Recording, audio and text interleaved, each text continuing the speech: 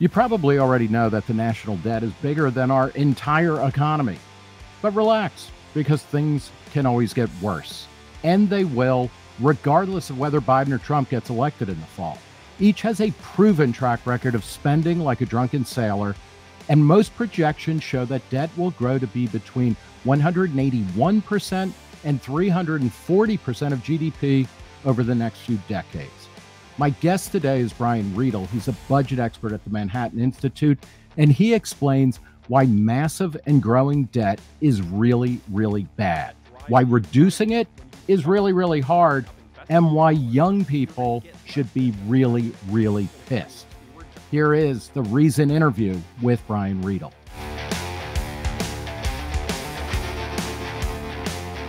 Brian Riedl, thanks for talking to Reason. Glad to be here.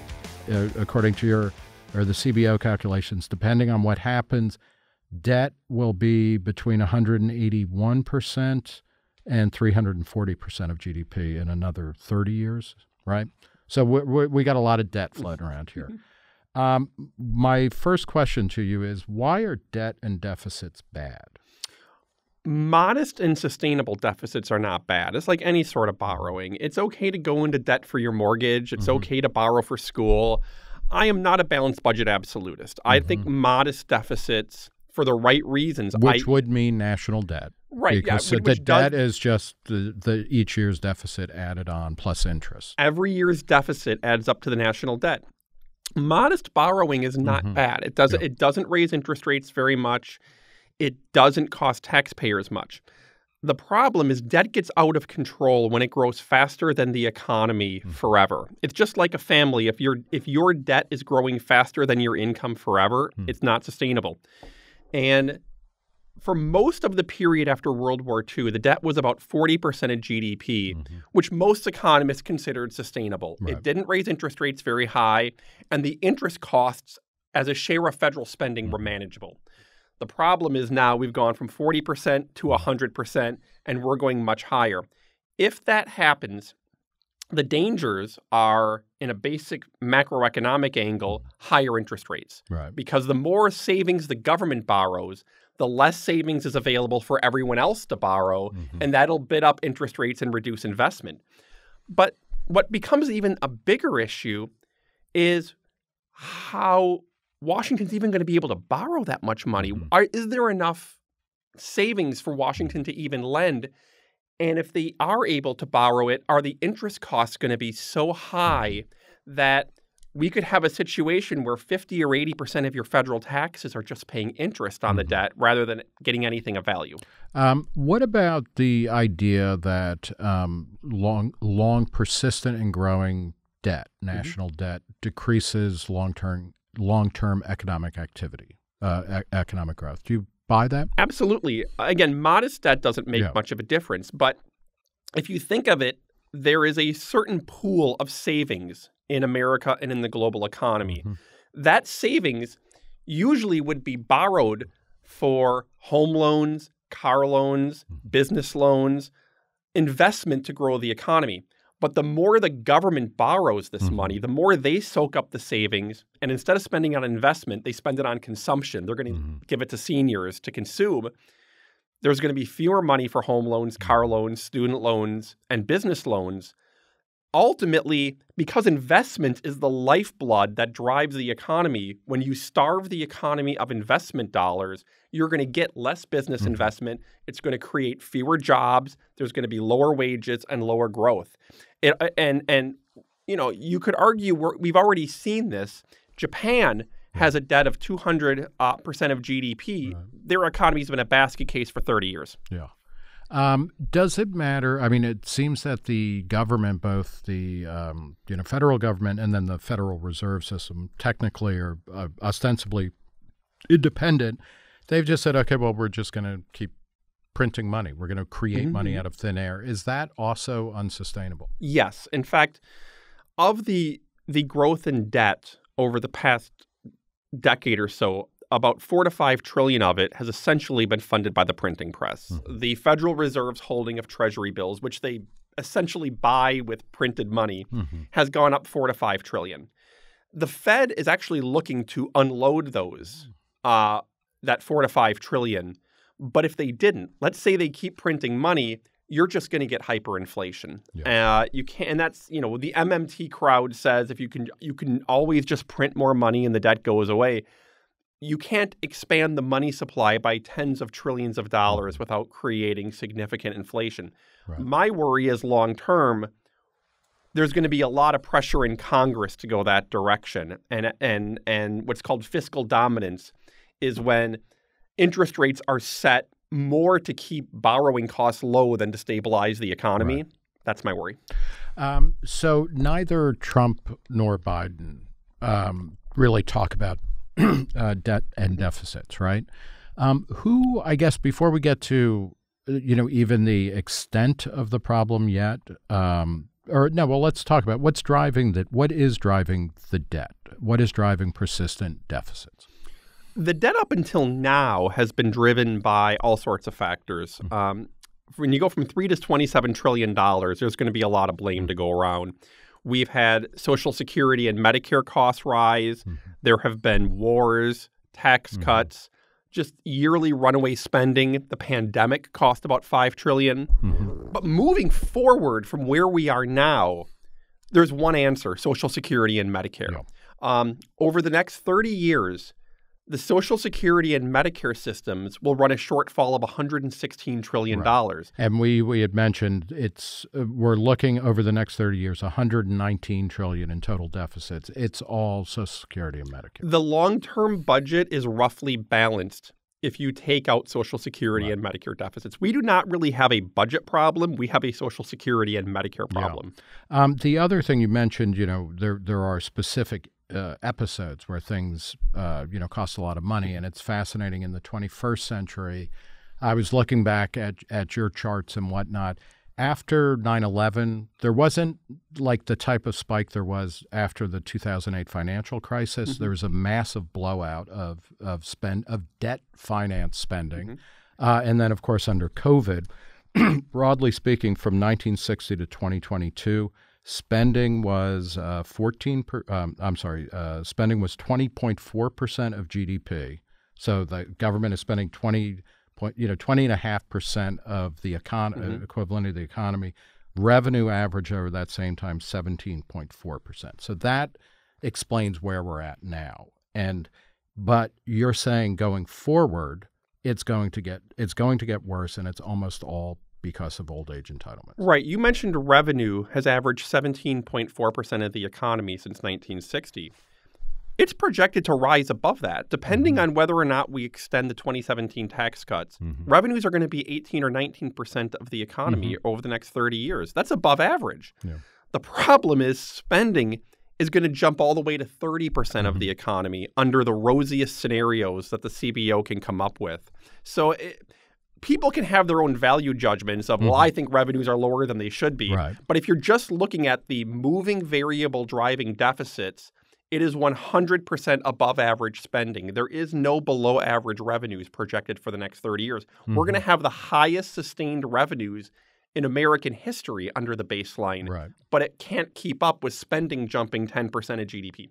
One of the things that you talk about in um, the in your book of charts is that this is, and actually in writings, you have a, a piece recently at the Dispatch that talked about this. Mm-hmm. This is not a Republican or Democratic issue; it is both parties. Can you talk a little bit about what what is the type of spending? Uh, because this is a spending issue ultimately. Um, we'll talk about tax cuts in a second and their effect on things how do Democrats tend to spend money, and then how do Republicans tend to spend money?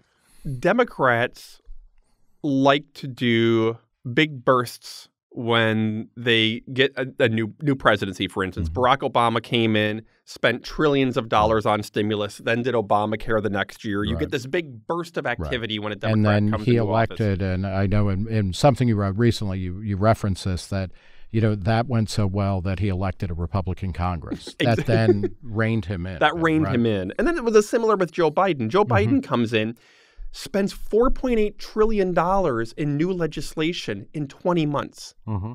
which is remarkable. Uh, and as remarkable as that, he came in promising $11 trillion in oh, new spending. So he got halfway there. He got halfway there in yeah. 20 months. And who knows, had the Democrats had a good election year right. in Congress, they could have gone further.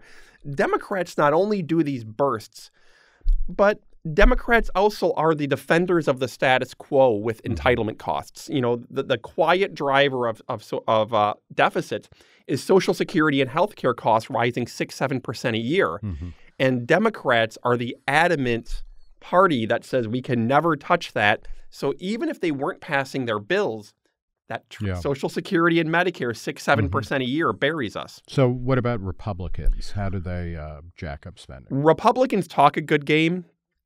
But, you know, if you take a look at in 2017, 2018, Republicans had the trifecta. They had the House, the Senate, and the presidency. Mm-hmm. They didn't reform entitlements at all. There was a little bit of push to repeal Obamacare that failed. Mm-hmm. There was no Social Security reform, no Medicare reform, no Medicaid reform. Instead, they came in, cut taxes, and busted the discretionary spending caps with a 13% hike in one year. Mm. When Republicans get the trifecta. When Republicans yeah. control the government, the first thing they want to do is reward their constituents. Mm-hmm. It's they're not they're not thinking in terms of deficit reduction. They're thinking in terms of handing out benefits to constituents, whether it's big defense hikes, mm-hmm. big discretionary hikes, you know, tax cuts. You don't you don't get the, the the fiscal spinach from Republicans when they control everything. They consider it time to party. And then there was somebody like George Bush um, and this gets muddied by 9-11 and mm-hmm. whatnot but he pushed for he ran on and got uh, an expansion of medicare benefits giving mm-hmm. free or nearly free drugs to old people uh, he expanded education spending uh, farm right? subsidies 80% yeah. yeah so there's um, why uh, is is it past time to um, you know i don't even want to say trust the republicans but not to laugh them out of the room if they start talking about fiscal uh, Republicans need to be judged by their actions, not their rhetoric. Mm-hmm. You know, you listen to Republicans give speeches. We're going to balance the budget. We're going to reduce wasteful spending, and we're going to cut waste, fraud, and abuse. It's all empty rhetoric. Uh, if you look at Republicans, not only is their past record terrible, but their current proposals to reduce the deficit don't even reduce the deficit. Mm-hmm. Um, every Republican presidential candidate has an economic plan that increases deficits, every one of them. Wow. The House Budget Committee released a budget blueprint that was entirely gimmicks. The Freedom Caucus, for all their talk, has released no actual blueprint yeah. to how to balance the budget. In fact, Republicans take 75% of spending off the table. They say we're not going to touch Social Security, Medicare, defense, veterans, and interest. They immediately take 75% off the table. So it's hard to trust a party that cuts taxes, increases spending, and then moving forward takes 75% of the spending off the table and won't tell us where they'd cut the other 25%. I think you need to judge them by their actions, not their empty balance the budget rhetoric. Are there kind of obversely, if that's a word, are there Democrats who are more serious about fiscal responsibility and, you know, where are they and how do they get a louder voice? There are some what what are the modern equivalent of blue dog Democrats? Mm-hmm. The the blue dogs officially kind of were were wiped out under yeah. There is a quiet group of Democrats, about two or three dozen of them in the House, that are trying to work with Republicans kind mm-hmm. of under the table on budget process reform, Social Security, and Medicare reform. They're very quiet about it. Mm-hmm. In the Senate, you have Joe Manchin, you have Michael Bennet, you have Mark Warner. There are some Democrats who at least talk a better game than even Republicans.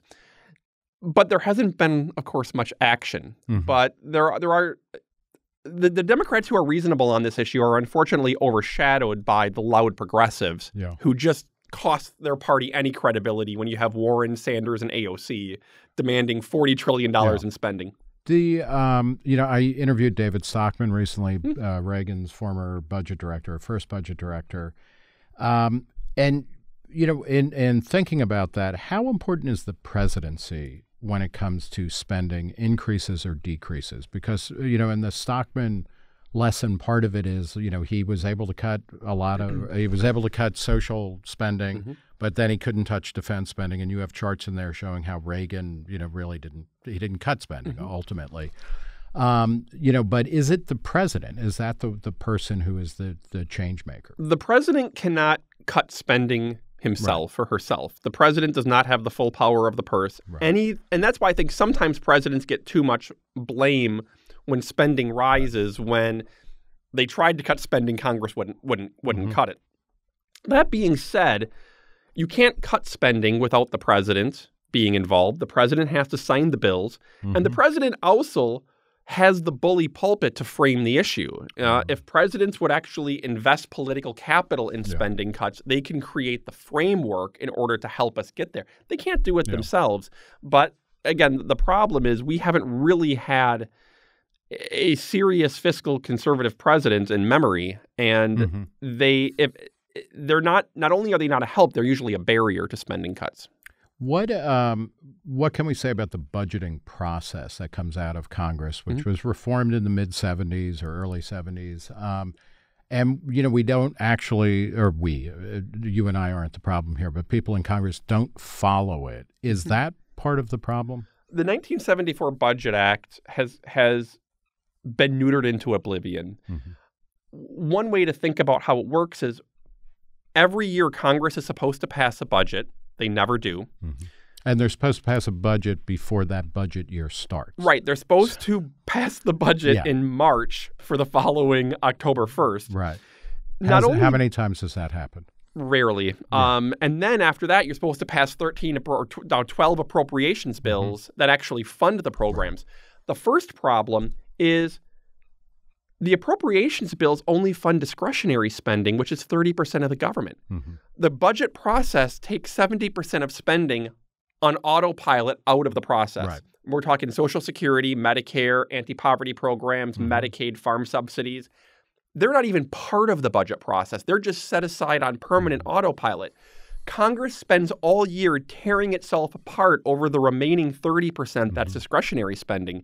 And then you have situations like now where we're almost six months into the next fiscal mm-hmm. year and we still don't have discretionary appropriations for this year. Right. We're still just running last year's numbers on autopilot. So the 74 Budget Act simply doesn't work anymore yeah. if its goal is to help Congress set priorities, make trade offs, and shape a holistic view of the budget, it's non functional. What gave rise to the 74 Budget Act? And is there, uh, you know, does that have any lessons for how we might reform things today? The 74 Budget Act resulted primarily from Nixon, Nixon trying to impound money. The, mm-hmm. There was a huge constitutional crisis under Nixon where he was trying to impound money that had been already appropriated by Congress. Impoundment means the the spending has already been signed into law, and the president says, as chief executive, I'm not spending the money. Mm-hmm. The Supreme Court shot down. What was he trying not to spend money? I, that I do not know okay. right right now. But the Supreme Court essentially shot down impoundment and yeah. said if the if the law says to spend it, the president doesn't have a choice. Right. That prompted. That's why the Budget Act was also called was called the Budget and Impoundment Act. But also, what was happening back then is the budget was expanding we were yep. just past the Great Society. Mm-hmm. You had huge new government programs and a totally unwieldy process. It was mm-hmm. just kind of all funded on a ad hoc basis. So the combination of the Great Society and impoundment yep. drove the 74 and that Act. was one of the big differences well, uh, 66 i guess medicare passed but it mm. didn't go into effect until about 1970 or so so that was coming online mm-hmm. excuse me and that kind of comically, what Medicare was expected to cost a billion dollars like a year, forty-eight billion by 1990, yeah, and it ended and, up, you know, three, four times yeah, that. They yeah. were make big mistakes made. Yeah. Um, so, is there anything like that that uh, you know that might spark a reform movement to reform the budgeting process? The challenge right now is everybody in Congress knows the process is broken, mm-hmm. and the debt limit the government shutdowns, that mm-hmm. often motivates members to say this is no way right. to, to run a country. We have we keep having debt limit crises, we keep having government shutdown mm-hmm. crises. The problem with budget reform that we've run into is there have been a lot of commissions in Congress and a mm-hmm. lot of working groups and a lot of special blue ribbon lawmaker commissions. nearly every reform they come up with dies because somebody's ox gets gored. Right. Some committee is going to lose power, whether it's the appropriations mm-hmm. committee mm-hmm. or the is going to lose to the budget committee or mm-hmm. the budget committee is going to have to give power to the appropriations or ways and means is going to lose some authority over some of their entitlement mm-hmm. programs. Mm-hmm budget process starts out idealistic and good government mm-hmm. and it ends up devolving into a turf war between yeah. members over over who can control what and the whole system falls apart one way of doing it potentially uh, is enact reforms perhaps that don't go in effect for five seven eight right. years so that members who are voting on it don't have to worry that you won't be the committee chairman anymore right. you don't have to take take this but that also gives the more space you give, then it's kind of like, oh well, I'm going to weigh hundred pounds in, they can in 2030, it. so I'm going to, you know, and then in 2029, I'm like, ah, I don't need that. They might yeah. repeal it then, right? And that's why nothing is foolproof. Yeah. Um, so is what's the role then of kind of public opinion, uh, or you know, in your mm-hmm. theory mm-hmm. of social change? Like, yeah, is you know, does it come from people protesting, you know, bad budget mm-hmm. processing and things like that? You know, I have a sign up in uh, my office. I'm, I'm, I'm drawing a little bit of a blank on it. That says, I believe it's, it's a quote that says, you know, do not think you can that public opinion doesn't matter in the long run. It's the only thing that does matter. Right. And ultimately, I have worked 20 years trying to adjust public opinion because when I worked on the Hill, I worked for six years in the Senate as chief economist to Senator Rob Portman. And when you're working in Congress and you talk to lawmakers, they will tell you the same thing we know all these problems. We know it's hmm. unsustainable. But if I try to do anything about it, the voters will kill me. Right. So one of the reasons I left the Senate was I'm like, okay, if everything comes down to public opinion because lawmakers are just weather vanes, we have to fix public opinion. Right. The challenge addressing public opinion on deficits is nobody believes it and nobody feels it. And they've been hearing concerns at deficits for a long time, but they mm-hmm. don't they don't feel it as much. I mean, there's right. been a little bit with interest rates. My fear is that we're not going to get real budget reform until the pain starts to hit us hard enough that people feel it. And that will be inflation and inflation, interest, rising interest rates, yeah. the bond market cutting us off, stock markets falling. Mm-hmm. And the danger, of course, is by the time you've gotten to that point, it's too late to fix it in any way that's not totally brutal. Yeah. But I have spent 25 years trying to motivate people, even like looking for a Ross Perot type. Yeah. I'm, dating myself on this. Mm-hmm. He ran for president in 1992, kids. Hmm. Looking for a Ross Perot type or something to motivate people. And it's one of the reasons it's harder to get people motivated on the deficit now than, say, the 1990s is in the 1990s, the deficit was smaller and you could fix it by reforming less popular pro- programs that didn't mm-hmm. matter as much. Today, the deficit is $2 trillion and driven almost entirely by Social Security and mm-hmm. Medicare. Mm-hmm. It's really hard to motivate people to address the deficit when they realize that's the ox that's going to be gored. It's right. going to be Social Security, Medicare, and middle class taxes. Mm-hmm. You're not going to you're not going to be able to tweak your way to this like you did in the 1990s. Um, before we go into what is to be done, and I, you know, I want to talk about some of the proposals. that you've articulated over the years. Um, let's talk a little bit about Trump and Biden um, because you know they're running for president and they have recent track records or ongoing track records. One of the measures that you use in your um, in in the charts and whatnot is how much when when a president comes in, there's a baseline of how, what deficits are going to be like yes. in ten years. Um, and then, so you look at that, and then you look how it turned out. And so, for instance, the 10 year projected uh, decline uh, for Bush, uh, by the time he left, he ended up adding $10.3 trillion in mm-hmm. deficits beyond what was expected. So that's really bad, right? Uh, Obama, it was $4.6 trillion in a 10 year budget window. Trump, in four years, had uh, 3.9 trillion extra budget deficits that he added to mm-hmm. the baseline. Biden, I guess, in his first 20 months, because it's still going on, he had added $5 trillion. So, how does does that tell us anything essential about these people or the parties they represent? I think one way to, to further slice up these numbers is I yes you, you want you, you, don't just want to look at what the deficit was when they arrived and when they le- mm-hmm. left because you might inherit a budget where everything right. is on autopilot getting better or everything's on autopilot getting worse. But you can further divide up these changes between legislation mm-hmm. versus the economy. Mm-hmm. And if you do that, Trump comes out a lot worse. Mm. Trump actually added 7.8 trillion in deficits, mm-hmm. but he was able to save 3.1 trillion or 3 sorry 3.9 trillion through faster economic growth, which right. cut the impact in half. Because Obama came in with a terrible economy. Yeah. Um, and then we can I, and I think we would both agree that his the actions that came after him slowed down the recovery, but by the time Trump came into office, things were picking up. Sure, exactly. And especially in those first three yeah. years, the economy and overperformed. Biden also, he inherited a bad economy. So, so if you go by just legislation and you further take mm-hmm. out the economy, Bush's legislation added 7 trillion in borrowing, mm-hmm. Obama 5 trillion in borrowing, and Trump nearly 8 trillion in just 4 years. Yeah. So what you see is that Bush and Trump added more than Obama. And mm-hmm. much of Obama's debt was actually extending the Bush tax cuts. Right. And but Biden really came in all guns blazing. He, like mm-hmm. I said, he added 4.8 trillion dollars in 20 months. He added as much debt in 20 months legislatively as Obama did in 8 years. Yeah. And so I think I think things are getting worse. That's why I'm right. concerned about a Trump Biden yeah. rematch because you have two presidents with two of the worst fiscal records right. of the past 100 years.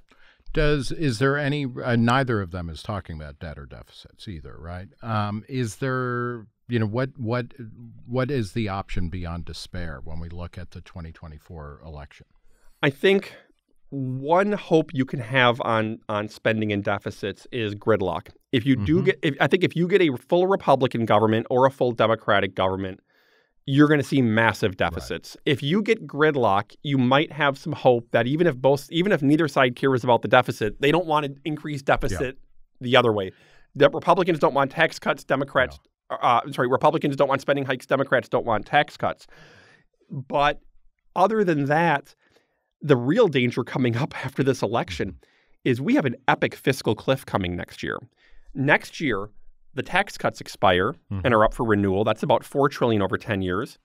The recent Obamacare expansion that Biden mm-hmm. signed expires. The discretionary spending caps expire. The infrastructure bill expires mm-hmm. and we hit the debt limit.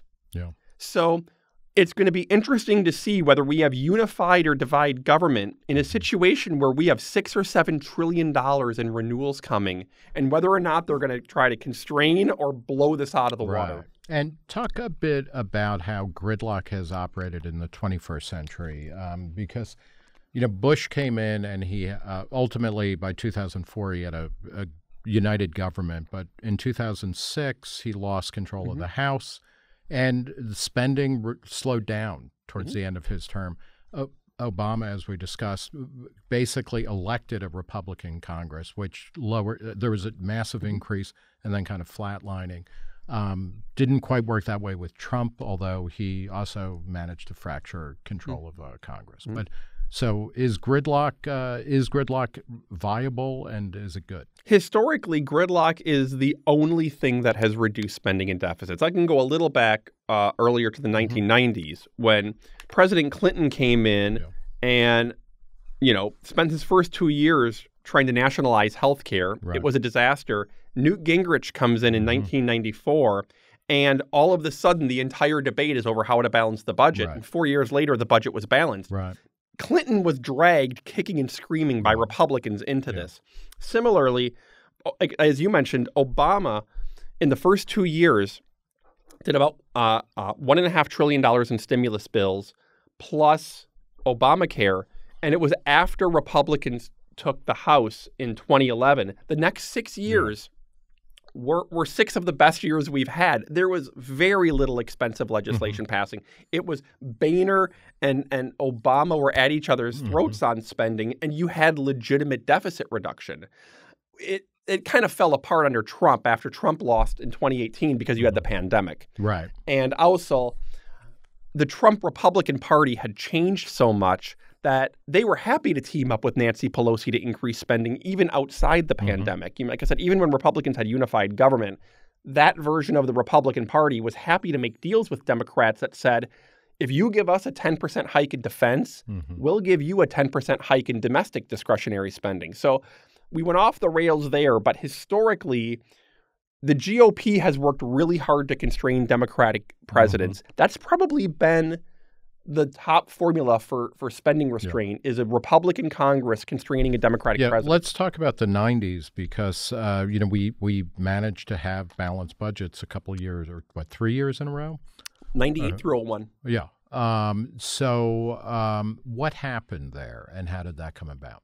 There, there's a lot of mythology about the 1990s balanced budgets. There is a certain view that it was a massive amount of fiscal consolidation the fiscal consolidation was actually pretty minor. Um, what, what, do you mean by fiscal? Fiscal consolidation meaning policies to reduce the deficit. Okay. You had President Clinton raise taxes in 1993, but it was only mm-hmm. about half a percent of GDP out of a deficit that was about 5% of GDP. Mm-hmm.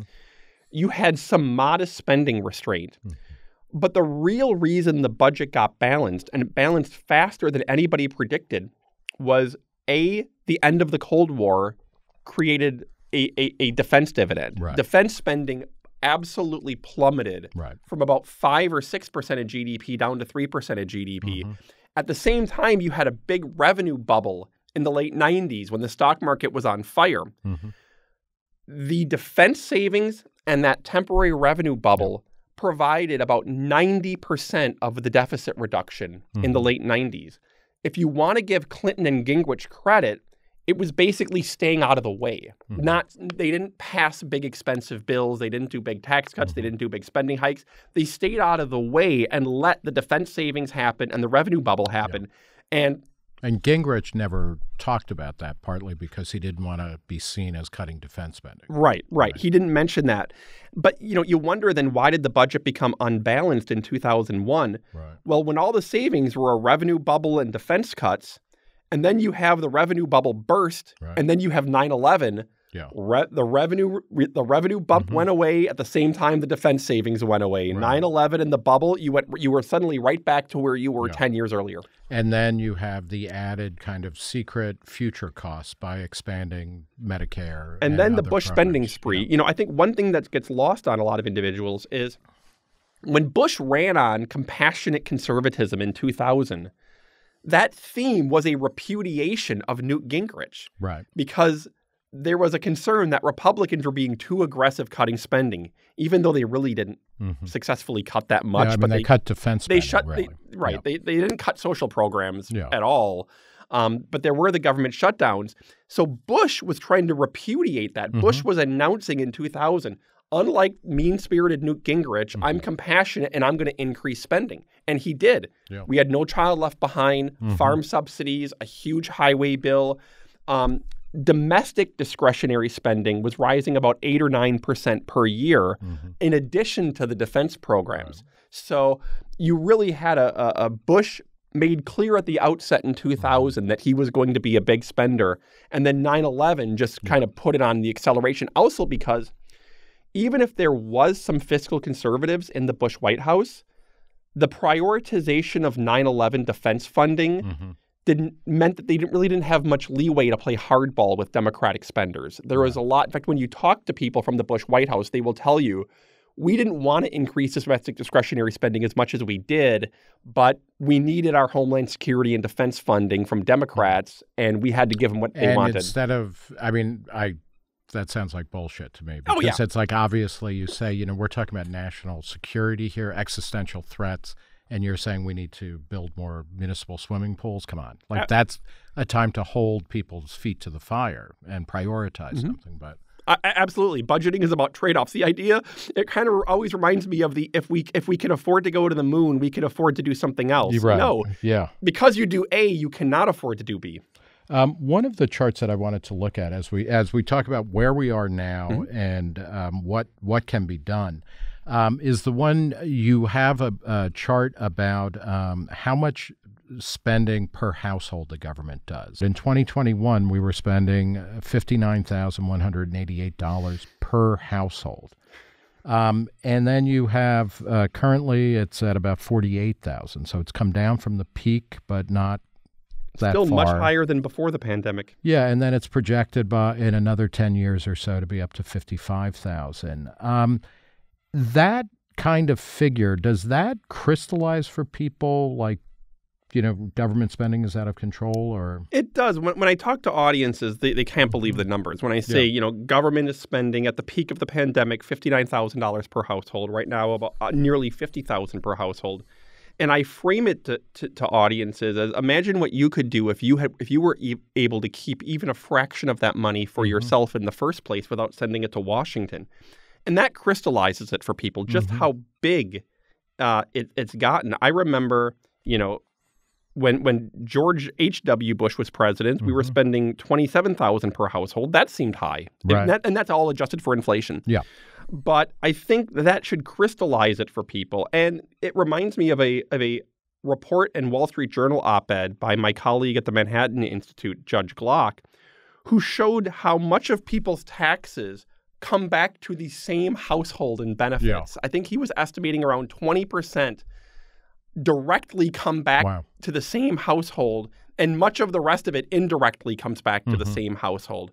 And you know, it, it's really kind of dumb to send this money to Washington, have them send it, you know, cut an administrative haircut and then yeah. send it right back to you. Um, those were old arguments that I used to hear, like why you know it, why spend it you know send twenty dollars to DC and get eighteen dollars back. It would be much more efficient to just keep it. But yep. um, hopefully those will come back uh, with some force. Um, okay, let's talk about what is to be done mm-hmm. and.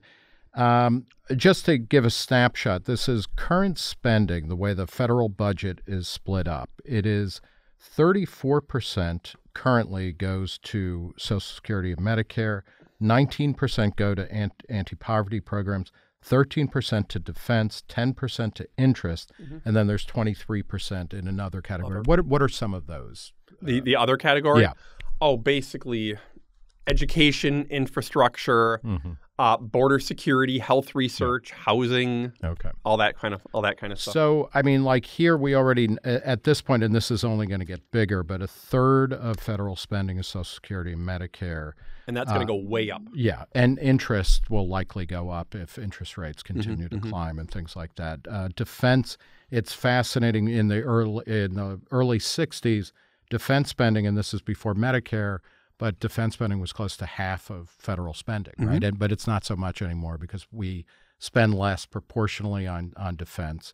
But it's also because we spend so much more on. We've gone from else. one half to one eighth of the budget on defense. Yeah, that's fascinating. Um, but okay, so that's where we are now. Um, what do we do in order to pay for this? You know, this type of spending. Um, can we tax our way out of it? It is mathematically impossible to tax mm. our way out of this. Uh, in order to stabilize the debt long term, you need non interest savings that gradually rise to about 6% of GDP mm-hmm. outside of interest.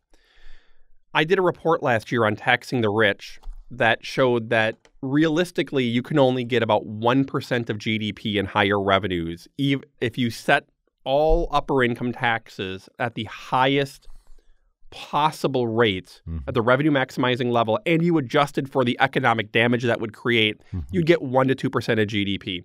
Just to put a finer point on this, if you seized every dollar of every billionaire's wealth mm-hmm. in America, their home, their car, their stocks, their vacation mm-hmm. houses, their yachts, their businesses, you could fund the government one time for nine months. Yeah. That's it. If you assessed 100% tax rates over 500,000 a year, you still wouldn't balance the budget. Yeah. So taxing the rich should be on the table because yeah. everything needs to be on the table. But when I hear lawmakers down to people on Twitter say all we have to do is tax the rich and it'll pay for mm-hmm. everything, that is spectacularly mathematically false. Right. And you show actually that according to OECD data and the OECD or advanced economies, the United States actually has the most progressive tax code. We have the so most. So we are taxing the rich. The rich pay a higher percentage of government revenue in the U.S. than in any other OECD substantially country. more, and it's it's it's because we tax the rich at a similar level as other countries. In mm-hmm. fact, our, our our highest rates are actually higher right. for other countries, but we tax the non wealthy so much less than other Mhm. countries that it makes us more progressive. Right. Yeah, and it's what about ten percent, the upper ten percent of income uh, earners in the U.S. pay about 90%. Yeah, percent. the upper twenty percent, the, the highest twenty percent of earners pay ninety percent of all income Right. taxes. The bottom half collectively pays zero. Yeah. So does that mean, in order to balance the budget, that we have to tax the middle class, or we have to tax more, a, a wider range of income earners? Here's the part that makes me really unpopular with all our Mhm. audiences. When you, if you try to build a stable budget for the next Mhm. 30 years, and I don't mean stable, I, I don't mean balance the budget. I mean just Yeah. run small enough deficits that the debt share of GDP stays at about 100%. You can't really get there on spending cuts alone. Mhm. Uh, you have to cut that 5.5% of GDP. You can't really find 5.5% of GDP in reasonable cuts.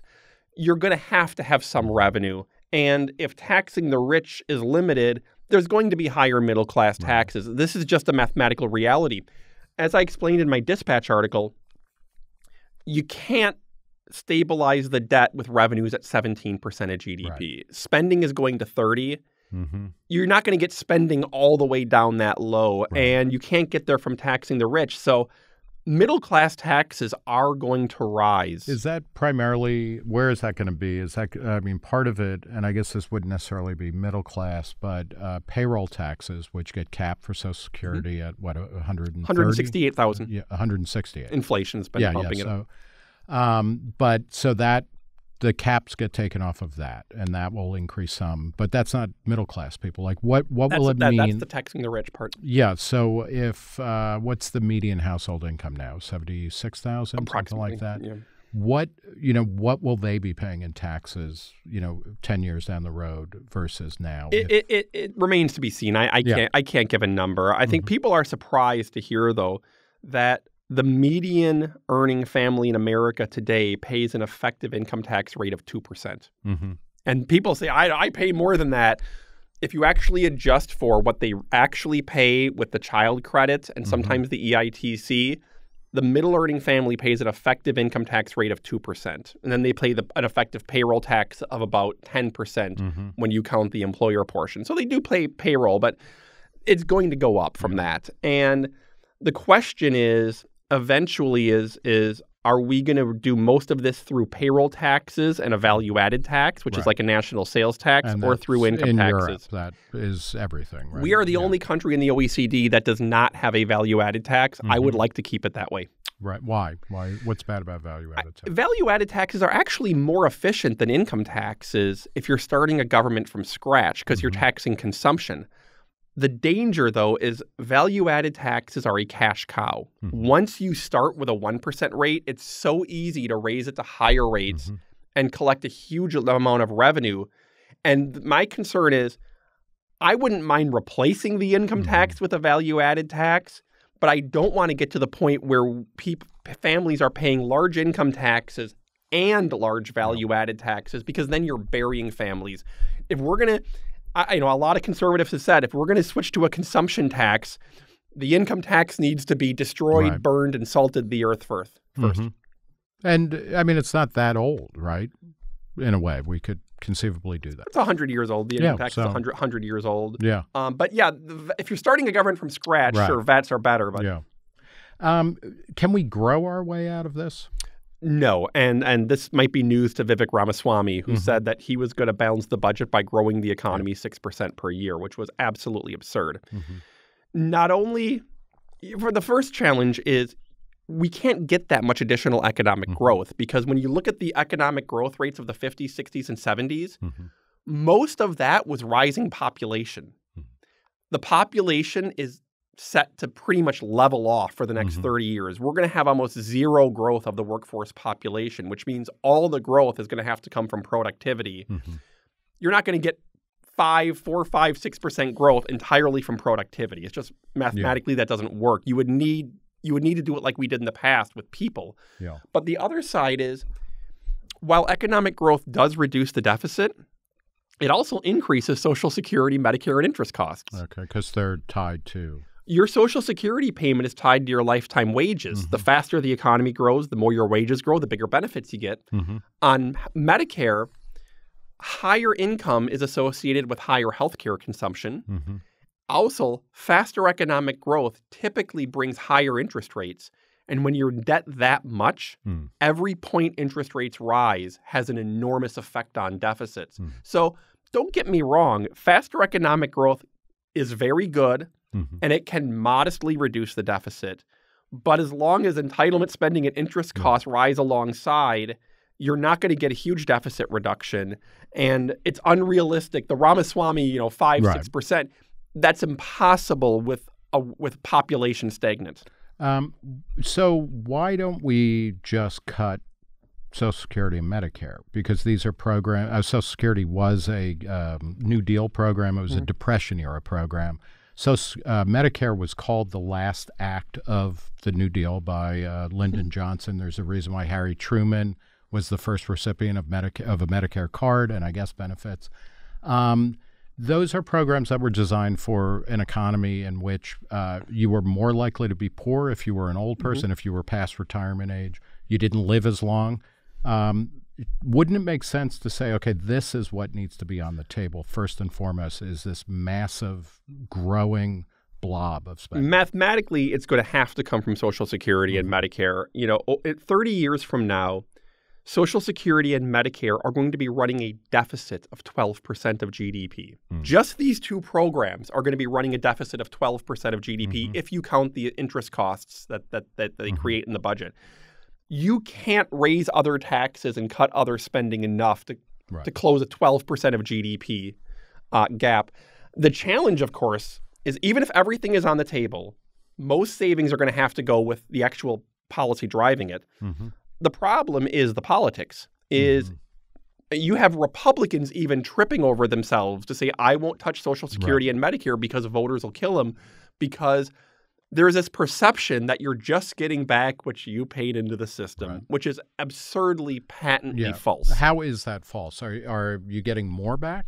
Yes, uh, okay. the typical retirees receive more. Social Security benefits are designed to become substantially more generous each generation, even adjusted for inflation. Mm-hmm. On Medicare, it's even a bigger gap. The typical retiring couple today gets back triple what they paid into mm-hmm.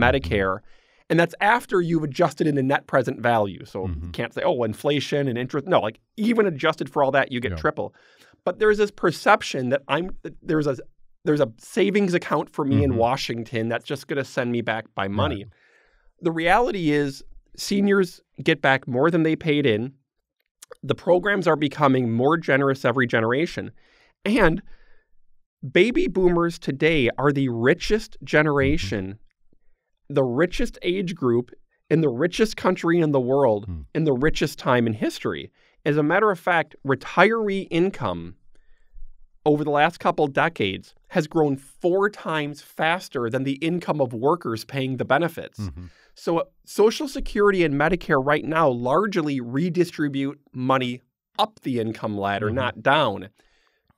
Yes, some seniors struggle, and you can design reforms, and I've designed yep. reforms that protect right. struggling seniors.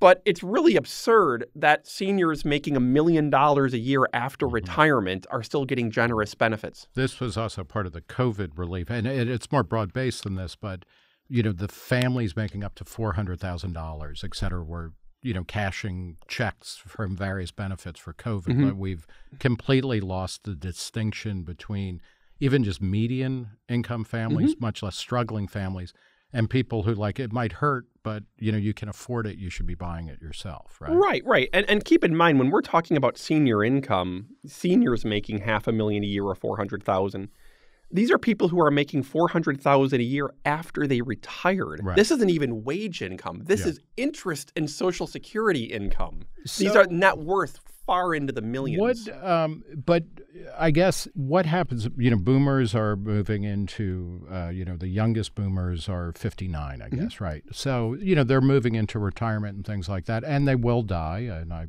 you know, I think about that on an almost daily basis as a boomer myself. Mm-hmm. Um, but um, you know they're going to give a lot of that money back to people, right? I mean, they have so much. Mm-hmm. They have so much. It's they're going to leave it to their mm-hmm, kids, mm-hmm, right? Mm-hmm. Does that affect the you know the, these uh, calculations it, it can over time i mean if you assume a certain degree of inheritance i mean mm-hmm. especially mm-hmm. simply housing values boomers right. have have so much home equity right. and frankly they're hanging on to the home equity a little yeah. too much to make the housing market difficult for their kids but eventually when they go those are going to be inherited mm-hmm. by their kids especially and those huge 401ks are yeah. going to be inherited by their kids that should make it a little easier you know i'm, I'm gen x that mm-hmm. should make it easier for Gen X to and millennials to get by with less. Right. And I've been telling people for years if you're a Gen X or a millennial and you're assuming that Social Security is going to be there forever in its current form with no savings, mm-hmm. you're just not paying attention. Right. You should save as if Social Security and Medicare are a bonus because the yeah. programs will exist. Don't get me wrong, right. but I wouldn't I wouldn't take the, the little mailing you get from Social Security yeah. with your future benefits too literally. Yeah, I um, do you think um, well how do how do we activate you know Gen X, but especially millennials and Gen Z to you know kind of I, I mean get motivated about this because you were saying hmm.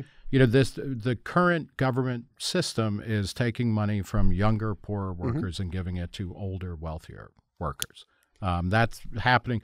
Uh, your book of charts has a bunch of things where progressive ideas like free college tuition and you know uh, gifting away uh, student loan debt, mm-hmm. et cetera, um, or reducing the uh, uh, the deduction, get or putting back the deduction on state and local mm-hmm. taxes. All of these things, which are pushed by Bernie Sanders and Elizabeth Warren and progressives, totally benefit wealthy people far more than they do mm-hmm. working class people, et cetera. There's a lot of reason for younger people and rel- relatively younger, relatively poorer people to be pissed at the system that's in place. How do we how do how do we reach them to start you know calling mm-hmm. I, I, don't want to say calling their legislators but creating that um, that movement for social change on this policy that is the million dollar question i mean it's kind of remarkable that we are facing the largest intergenerational transfer of wealth in world history and while young people are often voting on trendy the mm-hmm. trendy issues of the day or not voting at all seniors are going to the polls in record numbers and mm-hmm. robbing them blind. And young people are completely oblivious to the fact that seniors mm-hmm. are robbing you blind while you're voting on on side issues. I think you know you have to get their attention. And one thing that I try to point out to pro- younger progressives, and I haven't had a lot of luck, mm-hmm. is whatever priorities you have in the future, um, not having your taxes go up, family leave, child care, mm-hmm. health care, climate safety net, you're going to get squeezed. All, there is no way we mm-hmm. can pay for any of the priorities you have if we're giving $116 trillion in extra benefits yeah. to senior citizens. The math doesn't work. One thing that a lot of conservatives think about with motivating young people is climate change. Mm-hmm. Young people are so focused on climate change, even though it's something that's the main danger hmm. is 30 to 40 years off. You don't feel it now, and some years it gets a little better, and some years hmm. it gets worse. But young people are totally attuned to these long term climate projections mm-hmm. and their effect. And conservatives are often asking, well, how do we get them to focus on long term debt projections? Right. Which is a danger to them. I don't want to say just as much as, right. as climate. I don't want to get into that debate, but it's real. Yeah. And the costs that are in the system are not theoretical projections. The mm-hmm. seniors walk amongst us and they have letters saying mm-hmm. how much mm-hmm. they get. Yeah. If there's a way we could motivate them the same way they're motivated on climate, that would be a success. Yeah. But we haven't had much luck. What about uh, younger conservatives? Or, and you know, I, I, to be honest, I don't care about progressives or conservatives. I care more about libertarians, and mm-hmm. they seem to be somewhat in sync with these ideas, but um, you know, is there, um, you know, what is the, uh, like if you're right of center, say, mm-hmm. and you're not as suspicious of capitalism or you're not as motivated by climate change, um, what, what works to grab people? I think if, if I knew I would have, would have grabbed yeah. them by now, yeah. I think there is a certain perception, at least among right of center young people, that Social Security and Medicare are unsustainable. Mm-hmm. I don't mm-hmm. think you have to really convince them of that. Yeah. I think you have to get them to care about it though. Mm-hmm. And when I talk to young people on the right, to be honest, they're a little too focused on Twitter culture war, Trump mm-hmm. owning the libs, yeah. that you can't really get yeah. much policy focus. They get it, mm-hmm. but they're just not motivated on it yet. Yeah. And I, if again, if I, if I if I knew a way to reach them better, I'd love to do it. So then, let me ask you as a final question: How do you reach your own generation of Gen X? It was very popular in the '90s, as I recall. That members of Gen X, especially, they were more likely to believe in UFOs than that they were going to get collect mm-hmm, Social mm-hmm. Security or Medicare. Um, are, are they still keeping the faith, or you know, are, are are they lost in you know the hurly burly of everyday life? I think Gen X now has it in their DNA to be skeptical that Social mm-hmm. Security and Medicare are going to be there for them. Yeah. You know, when I talk to people in, in my generation. Mm-hmm. They're not necessarily motivated to do anything about it right. because I think when you talk to Gen Xers, there's bigger things going on in the world that are getting their attention mm-hmm. politically. There's, you know, Trump, Biden, all the culture war stuff. That's what they're voting on, but they're aware that we're that we're facing problems. Yeah. And and know, they're you, in the, the leading edge of Gen X is really going to be in the pinch point when all of this blows up. You know, the first couple of years, mm-hmm. it's kind of like you know, before whatever comes after is fi- figured out. They're sure. they're, they're going to be the plastic surgery disasters, right? Of you know, we're we're going to be the ones American hit with the drastic changes yeah. when you and you have to do yeah. it. But you know, you mentioned the '90s with Social Security. That was the time to fix it. You know, yeah. the reason to fix Social Security in the '90s was not because the program was going to go bankrupt in the '90s. It was always mm. going to go bankrupt around 2030 but that was the time to phase in the reforms while people were young. Yeah. And we missed the window in the 90s mm. and early 2000s to gradually phase in reforms for right. boomers. And because we didn't, now we're going to have to do the more drastic reforms. And as you mentioned, the baby boomers are going to be the, the people take when there's a ratchet of benefits we're going to be the ones being ratcheted because we didn't do the reform 20, 30 years ago when we were warned to do it. Yeah.